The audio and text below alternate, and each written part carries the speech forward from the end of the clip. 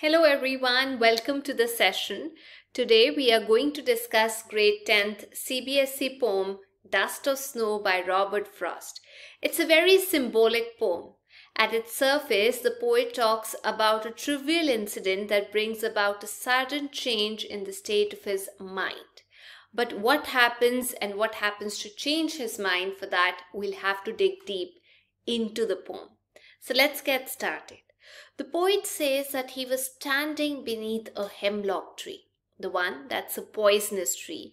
It's just then that a crow shook off the dust or snow that had fallen on it because it was sitting on one of the branches. With this falling of the dust, there was a sudden change in his mood. It caused a sudden change in his mood, and it ended all the regret that had filled his mind. Thus, this incident saved his day from any further sadness. But the poet Robert Frost has used the hemlock tree, the crow, the dust of snow, and the crow's shaking off the dust from his wings, from his body, as symbols only. The hemlock tree, it's a poisonous tree and it has been used here as a symbol of the poet's sad state of mind.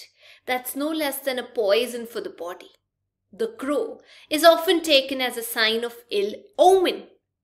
The poet has used it as the symbol of sad thoughts that had settled on his mind, just as the crow had settled on one of the branches of the hemlock tree, the poisonous tree.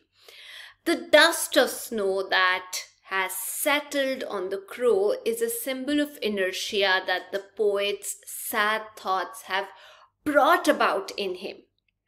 And the crow's shaking off the dust is a symbol of a new awakening that comes to the poet's mind.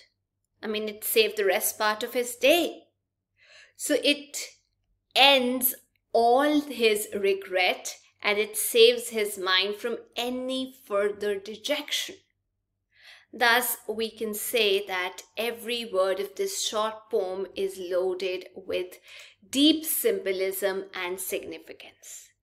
So that's all about the poem. I hope you've understood it.